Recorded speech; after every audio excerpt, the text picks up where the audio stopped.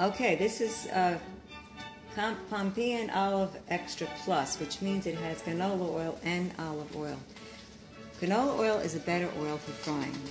Um, extra virgin olive oil, so my sister-in-law, who's a cook, told me it burns too much, it smokes too much. So, but with the canola oil is a better frying oil. So I put about a quarter of a cup into the pan.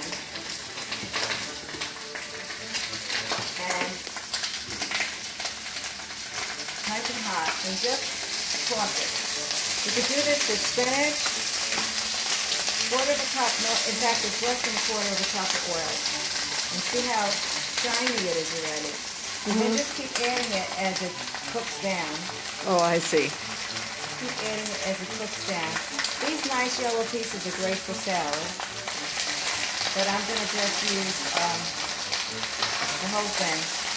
Anyway, I'll keep doing this and adding some garlic powder, lots of garlic powder, and if it needs more oil, do not use that because that is 120 calories a tablespoon and 14 grams of oil. This is zero. Zero fat, zero calories. And it makes the same kind of taste. Hmm. So just spray. My cousin, other cousin taught me this. Spray and cook. And just keep tossing. In a few minutes, you'll have a very delicious escarole or spinach or whatever vegetable you like for dinner. Add a little Parmesan cheese, light Parmesan cheese on top, and mwah, bene.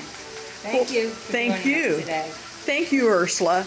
And thank you.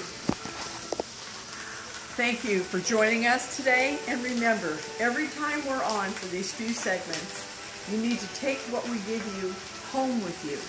Take it to the grocery store with you. Even if you have to use your cell phone and tape it for a reminder.